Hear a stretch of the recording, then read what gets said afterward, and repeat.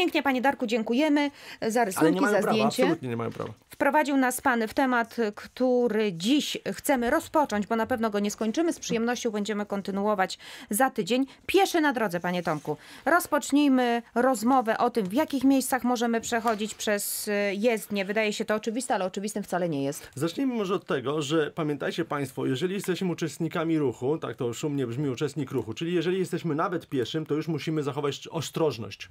Wychodząc na jezdnię, na, przepraszam, na chodnik, wychodząc z domu, będąc uczestnikiem ruchu, będąc na chodniku, przechodząc przez jezdnię, przechodząc przez przejście dla pieszych, y, o, przepraszam, zagolopowałem się, No przechodząc właśnie. przez jezdnię albo przejście dla pieszych, to musimy zachować szczególną ostrożność.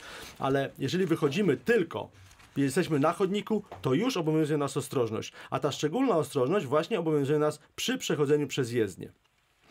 Y, Przeważnie y, moi kursanci jak jeżdżą i ktoś przechodzi przez jezdnię, to oni zawsze mówią, o jak przechodzi, widzi pan, przecież tu nie ma przejścia. Ja mówię, co z tego, że nie ma przejścia, ale można przejść. Jak to można przejść? Przecież tylko można przechodzić na przejściach dla pieszych. Więc nie, kochani. Można przechodzić też na skrzyżowaniach, ale do tego za chwilę. Najpierw y, ustalmy sobie tą fotografię właśnie pierwszą może. Marku, Tak, fotografia numer, znaczy rysunek, rysunek, numer jeden. Rysunek własnoręcznie wykonany przez pana Tomka. O tak. Czyli można przejść poza przejściem, ale co jest podstawą? Nie możemy utrudnić ruchu innym pojazdom i nie możemy zagrozić bezpieczeństwa ruchu drogowego. Czyli jeżeli nie mamy przejścia, to te dwa czynniki musimy spełnić. Nie możemy zagrozić bezpieczeństwie ruchu i utrudnić tego ruchu.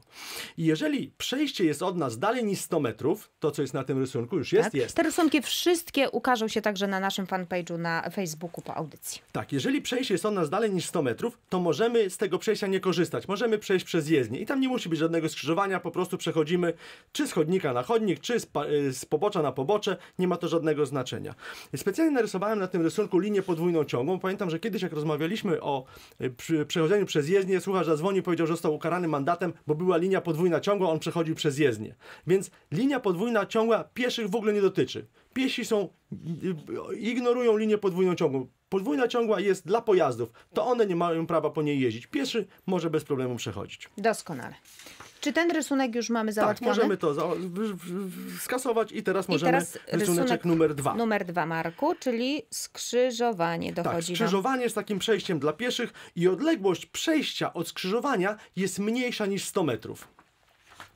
Yy, Więc przepis mówi nam jasno, że jeżeli skrzyżowanie jest w odległości mniejszej niż 100 metrów od y, przejścia dla pieszych, to dopuszcza się przechodzenie przez to, na tym skrzyżowaniu. Ale zwróćcie Państwo uwagę, jeżeli to widzicie, ten rysunek, że ten piesik, te, ci ludzi, te ludziki, których ja narysowałem, one przechodzą z chodnika na chodnik.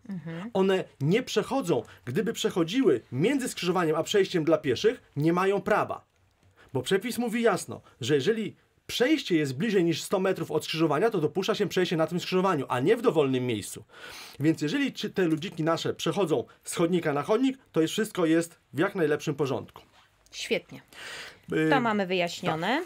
Możemy teraz y, wrzucić rysuneczek numer 3. To już w ogóle jest skrzyżowanie. Tak, to już jest skrzyżowanie, czyli nie ma przejść dla pieszych i ci piesi mają prawo przez takie skrzyżowania przechodzić. Ale znowu mówię, w obrębie skrzyżowania, jeżeli nie ma przejścia dla pieszych.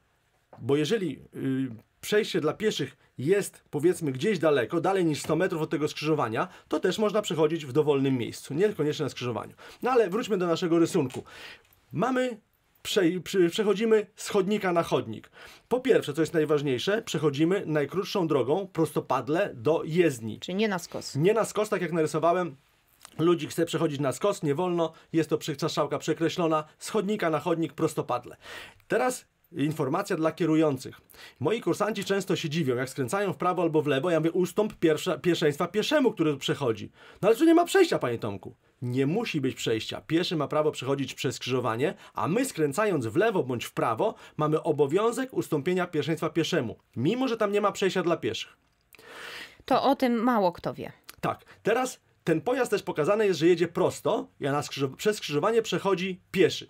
To jeżeli my jedziemy prosto i pieszy przechodzi przez skrzyżowanie, to my mamy pierwszeństwo przed pieszym. On musi nam ustąpić pierwszeństwa, chyba że jest to osoba z ograniczoną sprawnością ruchową lub, lub z białą laską. Wtedy to on ma pierwszeństwo. Czyli jeżeli ja albo inny młody człowiek, powiedzmy, nie wiem, 20-letni, ma nogę w gipsie i chce przechodzić przez na skrzyżowaniu przez jezdnię, to on ma ograniczoną sprawność ruchową, więc my musimy mu ustąpić pierwszeństwa. Ale jeżeli jest zdrowy, porusza się normalnie, to wtedy my mamy pierwszeństwo jadąc prosto. Ale skręcając w prawo bądź w lewo, zawsze ustępujemy pierwszeństwa pieszemu. No wie pan co? Zaskoczyłem Takie panią? cie- tak, Ale jakie dziwy. ciekawe, Ale jakie dziwy. ciekawe historie. Wie pan co, ale mnóstwo ludzi tak idzie drogą właśnie tak na skos, na skos, bo zawsze tak chodzili. A no nie wolno właśnie, nie wolno na skos, trzeba iść prostopadle. Możemy wrzucić teraz y, to, ten rysuneczek